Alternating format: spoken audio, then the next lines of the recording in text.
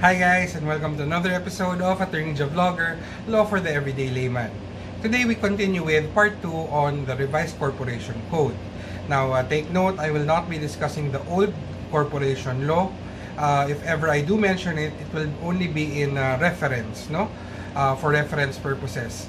I will be devoting the discussion to the current law or Republic Act 11232, otherwise known as the Revised Corporation Code.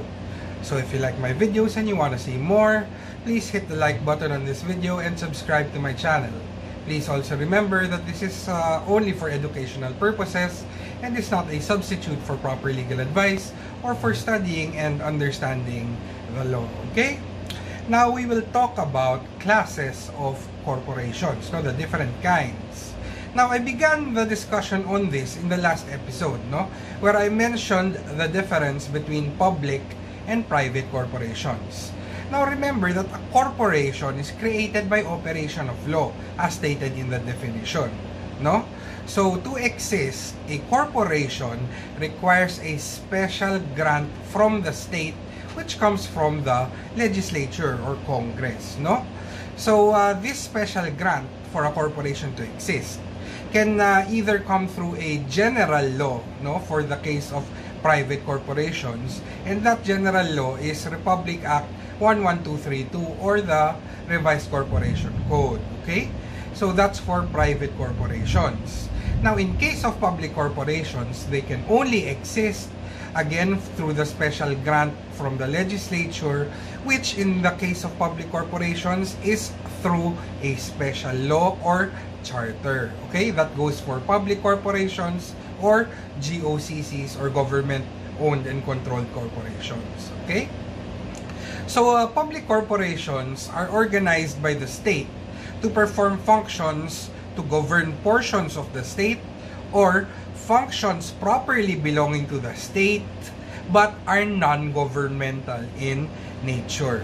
And under Section 4 of the Code, they shall be governed primarily by the provisions of the special law or charter creating them or applicable to them, supplemented only by provisions of the Revised Corporation Code. Meaning, the Revised Corporation Code, you do not apply that right away to the public corporation. Okay? The um, law that will apply to them, their rules, they will be governed by the special law.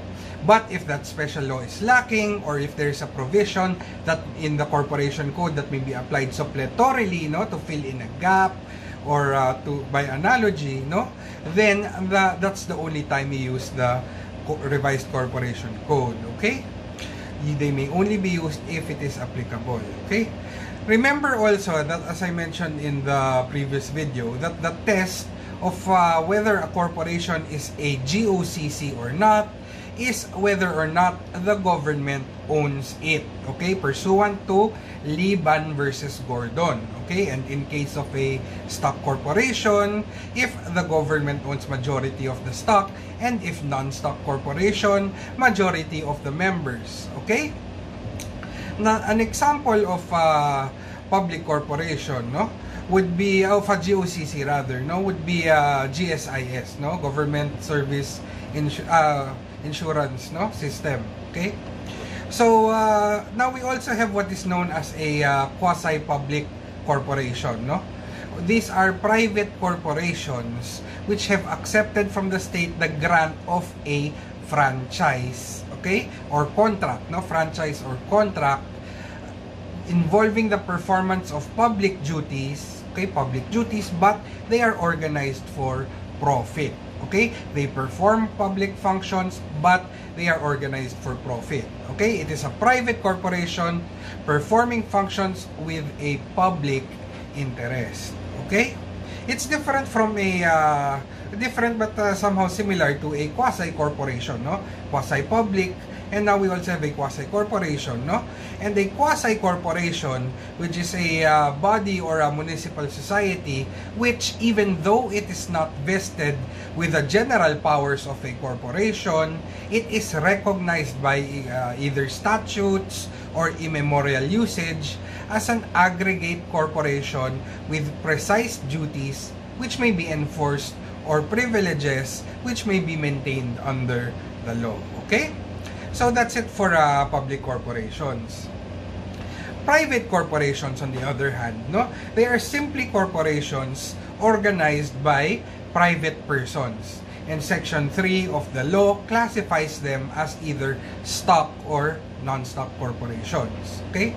Stock corporations are those which have capital stock divided into shares, no?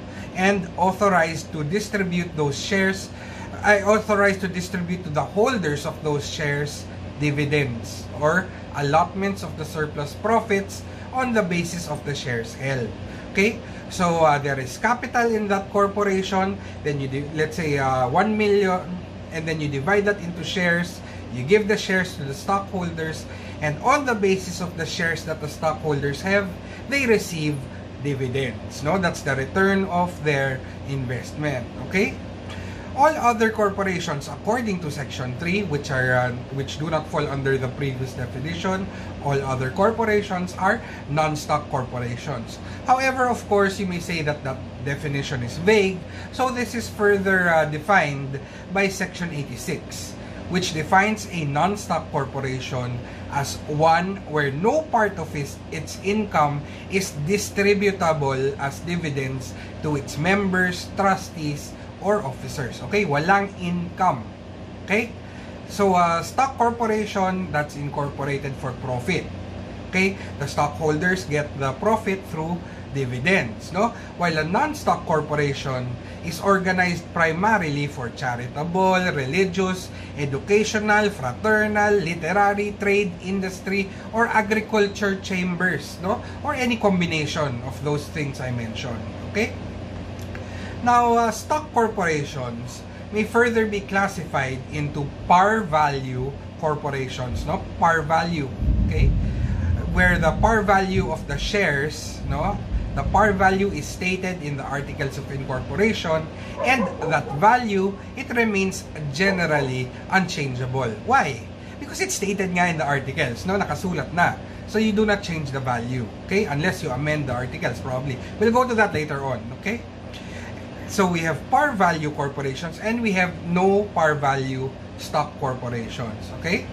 These are uh, the ones who have stocks where the issue value of those stocks change from time to time. Okay? And is left to the discretion of the corporation to determine. Okay? We'll talk about shares uh, later on, probably in the next, uh, in the succeeding videos. Okay? So, uh, let's move on. Now we also have uh, what is known as uh, De Jure Corporation. De Hure, J-U-R-E. Okay? These are created uh, following the strict or uh, substantial uh, conformity with the manda- mandatory statutory requirements. So they follow the requirements of the law. Okay? The requirements of the law for incorporation. Okay? So uh, their right to exist as a corporation cannot be attacked okay, or questioned by any party even in a direct proceeding for that purpose. Okay? So uh, you cannot simply go and say, you cannot go to court and uh, ask the court to say that this corporation does not exist, no? Okay, they can successfully resist that, no? Okay, while uh, in contrast, we have a de facto corporation, okay? If we have de jure, we have de facto. Okay, a de facto corporation is uh, defectively formed. May defect sa paggawa niya. Okay? It's defectively formed from a bona fide attempt to incorporate under the law and it exercises corporate powers. Okay? So let's say there's a list of requirements and it has substantially complied with that but it missed out on uh, certain something that is not necessary for the corporation to exist. In that case, it's a de facto corporation. No, It is organized with colorable compliance with the requirements of the law and the effect is its existence cannot be inquired into collaterally. Okay? In other words, it's you can only question its existence in what is known as a co warranto proceeding quo-warranto. Q-U-O warranto. Okay? So, uh, a common exam or uh, recitation question involving de jure versus de facto uh, corporations involves a scenario where a corporation is being incorporated, then it transacted business, but for one reason or another, it failed to file its bylaws on time with the Securities and Exchange Commission or the SEC. Okay? It's usually the bylaws, no? Because the bylaws are not uh, mandatory uh, requirement for uh, incorporate. I'll talk about this in another video, okay? Uh, just take note of uh, what I'm saying now, okay? So in that case where the corporation is being incorporated, no? And uh, the incorporators failed to file the bylaws on time, okay? There is still nevertheless substantial compliance with the law on incorporation provided of course the mandatory requirements are uh, met, no? And since the corporation transacted business, it will now be considered a de facto corporation. Okay? So, let's say you know all that, okay? Knowing the law is different from knowing how to apply the law, which is the point if you want to be uh, good lawyers or you want to pass your accounting exam, okay? It's not enough that you memorize, you have to know how to apply it. So what if you know that uh, the corporation is a de jure corporation or is a de facto corporation or a corporation which does not exist? Okay? So here in the, the case that I just mentioned, no, that the corporation failed to file its bylaws, right, I said that it's a de facto corporation. So what's the implication? The implication is that any party cannot attack the existence of the corporation collaterally. Okay? What does that mean collaterally? It just means that uh, it cannot be the existence of the corporation cannot be attacked let's say like a side dish no? May ulam ka may side dish ka itlog kunyari no? Or uh, kung kunyari uh, you're uh, you like samgyupsal whatever side dish okay? In other words like if the main case is for collection of a sum of money no? Against this corporation that's your main case no? Please pay me this. You cannot as a side argument say by the way this corporation does not exist ha cannot do that. Okay? Because you respect the separate juridical personality of the corporation. Okay? You can only attack the existence, the legitimacy of the corporation, uh, of a de facto corporation through a quo warranto proceeding. Okay? That's important. Now, another common question is where, uh, let's say, a stockholder or an officer of the de facto corporation is being held liable in his personal capacity. Okay? So, uh, let's say there's an obligation and then the uh, the obligor, the creditor, uh, the creditor no is asking to be paid. Hey, pay me. Uh, he's asking this certain stockholder who he talked to to pay him personally, no? So in that case, if those are the facts of the case, no, you have to check whether the corporation is truly a de facto corporation or if it was never incorporated at all. Remember, if uh, it misses out on a mandatory requirement, like it does not fail the articles of incorporation, the corporation did not exist, okay, because it failed to uh, comply with one of the mandatory requirements, okay? That's an important difference, okay? Because if the corporation is a de facto corporation, it will still have a separate juridical personality. And if it has a separate juridical personality, this gives rise to the limited liability principle, no? On the part of the stockholders or officers. Remember in my previous episode, no? Na the limited liability means that the debts of the corporation are not the debts of its stockholders or members, okay? Now, if it is a de facto corporation because let's say it failed to file uh, the bylaws no on time okay? So the implication of that is that there is a separate juridical personality. The corporation exists. Yun nga lang de facto siya and since it exists it has a separate personality and therefore the stockholder should not be held personally liable you you understand okay i hope you understand no So uh, let's say what was not filed on the other hand is the one of the mandatory requirements like the articles of incorporation. That's a mandatory requirement for uh, incorporation, no? So there is no substantial compliance with the law for incorporation, okay? Therefore, the implication of uh, failing to comply with that mandatory requirement is that no corporation exists at all. Okay? It was never created.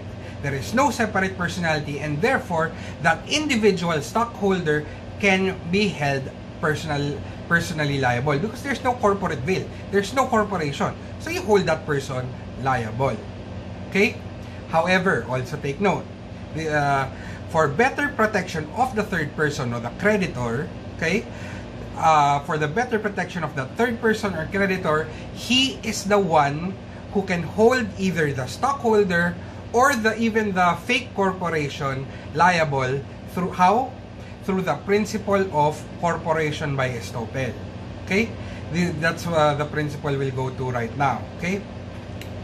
Now a corporation by estoppel okay is uh, happens where a group of persons no let's say these uh, four people no uh, five people no okay a group of persons they assume to act as a corporation okay? But these people they know that they're not a corporation okay? They didn't file the AOI whatever or they didn't even do anything at all okay? Now they enter into a transaction with this guy okay on the third person no pretending that they are a corporation okay now if this guy wants to hold them liable as a corporation or even individually they cannot say that hey no there's no corporation so you cannot hold us liable no okay the law will protect the interests of this third person who relied on the representation of these people that there was a corporation. Okay? It can this uh, these people cannot be permitted to deny their the existence of the corporation if an action is filed against them for the transaction. Okay? So uh, in this case, that corporate that corporation by estoppel is neither a de jure nor a de facto corporation. It's not any one of those. Okay? And under section 20 of the code, all persons who assume to act as a corporation, knowing it to be without authority to do so, shall be liable as general partners for all debts, liabilities, and damages incurred or arising as a result thereof. Liable as general partners. If you watched my series on that, it just means that these people, no, these five people, can be held subsidiarily liable. Subsidiarily meaning after the fake corporation's assets have been uh, exhausted, no? They can be held subsidiarily liable with their separate property. Kahit sa bahay lupa, kotse, etc. nila. Okay? Now, uh, also take note that the section 20 says that when any such uh, ostensible corporation is sued on any transaction entered by it okay, as a corporation or any tort, quasi-delict, no, committed by it as such, it shall not be allowed to use uh, on any, uh, it shall not be allowed to use its lack of uh, corporate personality as a defense. Okay? Meaning, let's say it committed a tort, no? or uh, uh, it's sued for a transaction, no? It cannot say, hey, you cannot hold me liable because we do not exist. No. Okay? The law will protect the interests, again, of the third person and treat them as a corporation by estoppel in order to hold uh, their assets uh, liable and also to hold them individually liable. Okay? Anyone who assumes an obligation to an ostensible corporation as such cannot resist the performance thereof on the ground that there was in fact no corporation. Okay? So uh, that part now says if uh, this third person is the one indebted to this corporation, okay, he's the one who's supposed to pay, he cannot now say, I don't have to pay you because there's no corporation. He still has to pay. Okay? So, uh, do not be confused, okay? It is not the fake corporation or the members uh, of that uh, fake corporation that can claim that can claim, hey, we're a corporation by estoppel, no? The corporation by estoppel principle is meant for the protection of third persons, no? And it is therefore the injured third person, okay? Take note, that injured, he must have suffered injury. In the last example I mentioned, no? that third person is the one who's indebted to the corporation and is claiming, hey, corporation, you, there's no such corporation, so I'm not liable to you. In that case, he cannot claim it. Why? He's not injured. Okay, he has to have suffered damage. Here, he is the one who owes the corporation, so he will still be liable. Okay? Now, on the other hand, the members of the corporation cannot also claim that hey we're a corporation by estoppel to evade their obligation to the third person no? If they're the ones indebted to him. Okay? It is not a defense. So do not be uh, confused no?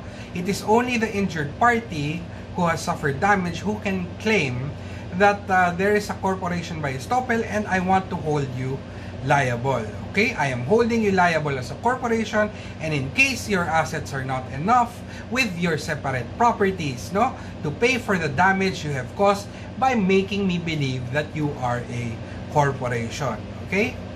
So again, a corporation, although irregularly organized and even if not actually existing, may be sued. Okay? Pwedeng kasuhan. Okay? Uh, can be sued as a legal person in order to hold it and its members liable under the principle of estoppel. Okay? Now we also have what is known as a uh, corpora corporation by prescription or one which has exercised corporate powers for an indefinite period of time without interference from the sovereign power. One example would be the Roman Catholic Church. Okay? We also have classifications of uh, corporations according to the laws of incorporation. Okay?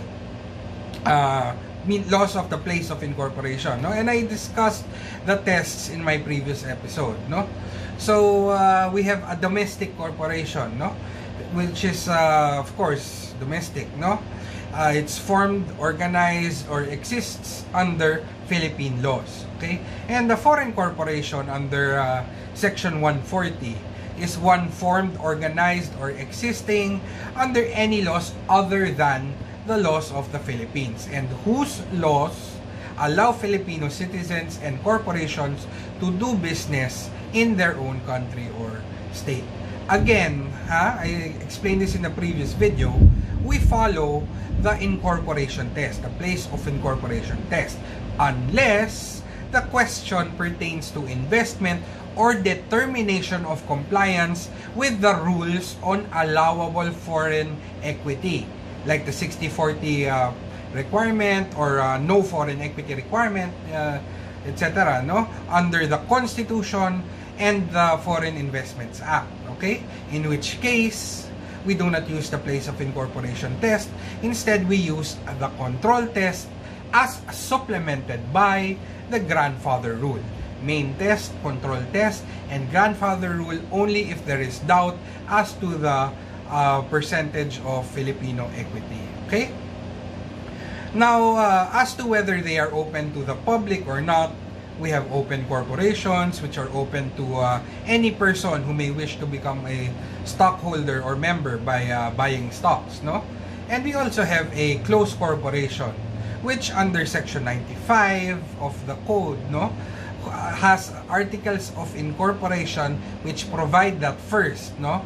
All the corporations issued stock of all classes except treasury shares shall be held off record by not more than a specified number of persons not to exceed 20. Okay, 20 or less lang ang pwedeng humawak ng stock nila. Second, all the issued stock of all classes shall be subject to one or more specified restrictions on transfer permitted by this title. May restrictions on transfer. Hindi basta pwedeng hindi basta-basta kahit sino pwedeng maging member, no? You, there are restrictions as stated, no? Uh, stated uh, in the share, no? Stay, saying that if you're gonna transfer this share only to uh, these kind of people, no?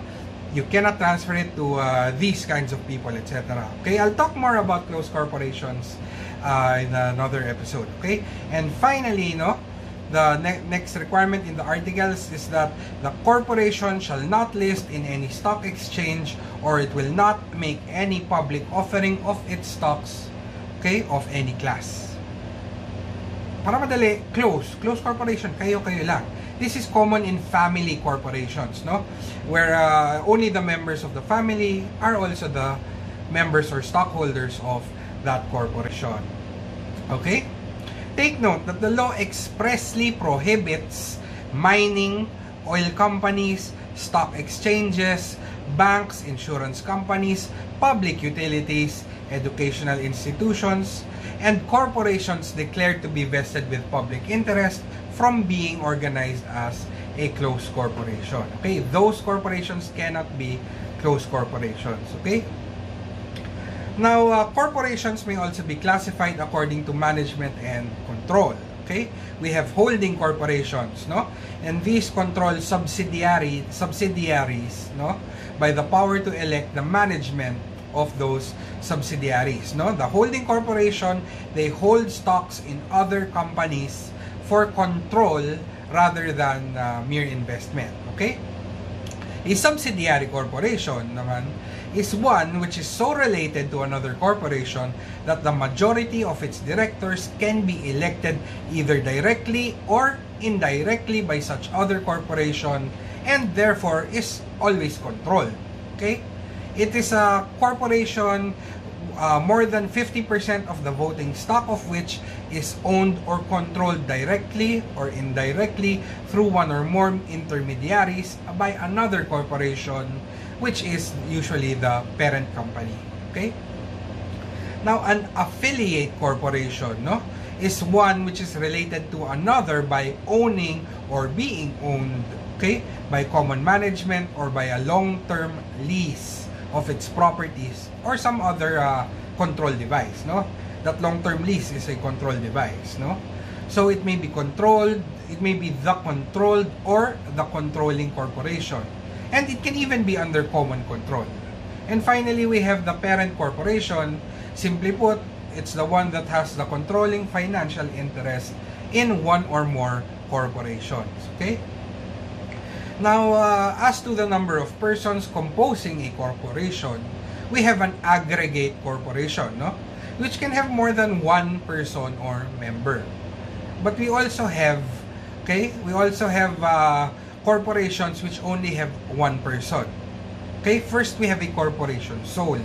And under section 108 of the code, okay, a corporation sole consists of only one person or member Okay, and it may be formed by the chief archbishop, bishop, priest, minister, rabbi, or other presiding elder of such religious denomination.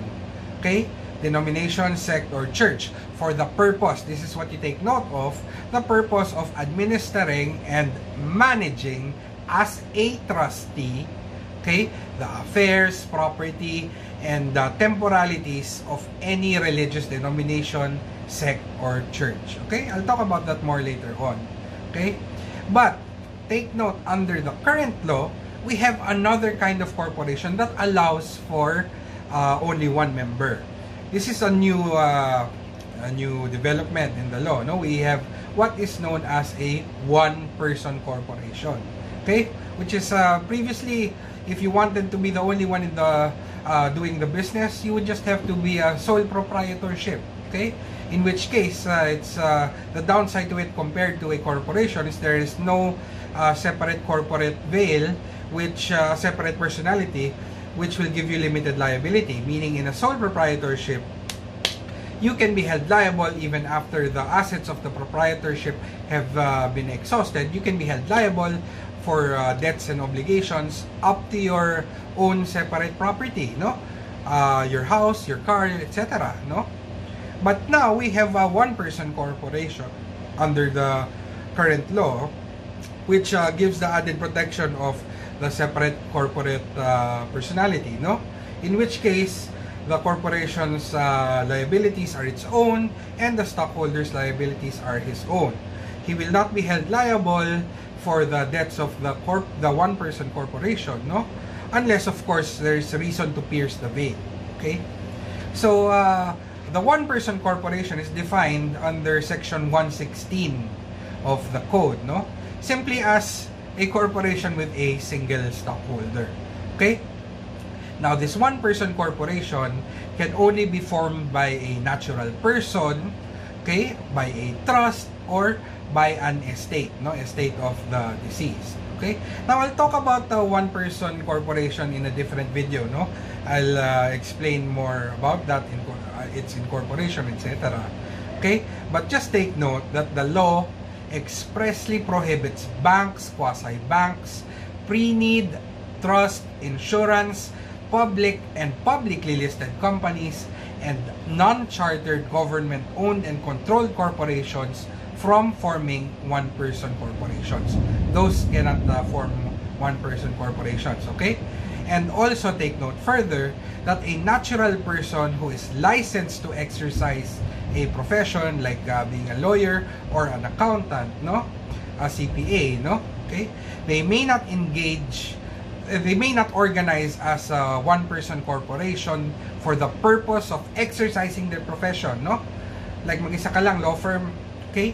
They may not uh, organize except as otherwise provided under a special law. In other words, the only time that a lawyer, let's say, can uh, make a law firm as a one-person corporation, ha?